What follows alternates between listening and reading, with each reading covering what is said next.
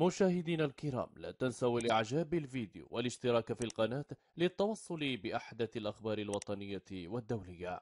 في خبر جديد أعلن فيرون موسينغو أومبا الأمين العام للاتحاد الإفريقي لكرة القدم بأن خريطة المملكة المغربية المتواجدة على قمصان نادي نهضة بركان لا تشكل أي مشكلة وفقا للوائح الكاف وقال أومبا في تصريحات له مع قناة بي بي سي سبورتس أفريكا لجنة الاتحاد الإفريقي لكرة القدم تعتقد عدم وجود مشكلة في هذه الخريطة وفقا للوائح الكافة. وتابع النائب العام للاتحاد الإفريقي لكرة القدم قرار محكمة التحكيم الرياضي الطاس سيرشدنا إلى كيفية تحسين لوائحنا. ويذكر أن الكاف كان قد اعتبر اتحاد العاصمة الجزائرية منهزما ذهابا وإيابا ضد فريق نهضة بركان بنتيجة ثلاثة أهداف مقابل صفر.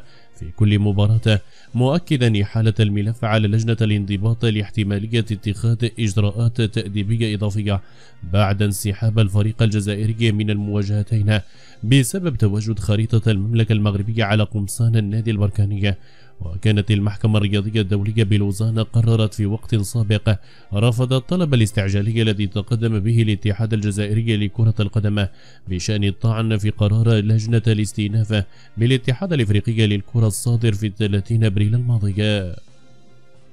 نشكركم على حسن المتابعة. إلى اللقاء.